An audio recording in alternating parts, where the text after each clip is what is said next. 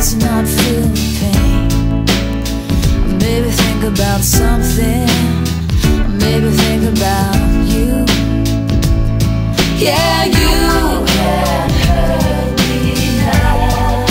You know you can't